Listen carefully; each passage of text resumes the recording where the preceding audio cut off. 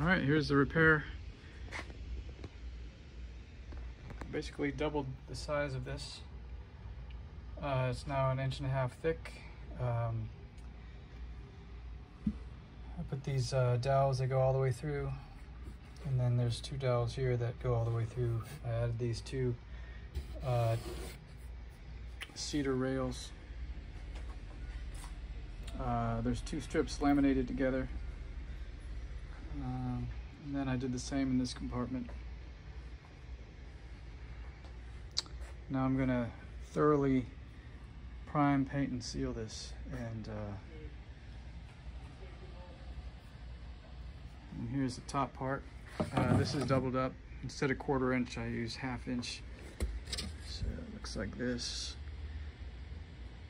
And there's a, there's a cross brace under there. This uh, this sockets into there, so it can't shift can't shift left and right. It's a pretty tight fit here.